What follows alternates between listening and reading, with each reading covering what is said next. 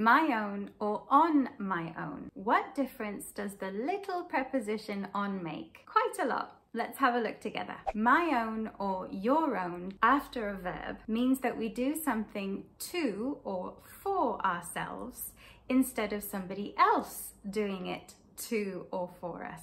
I like the idea of growing my own vegetables.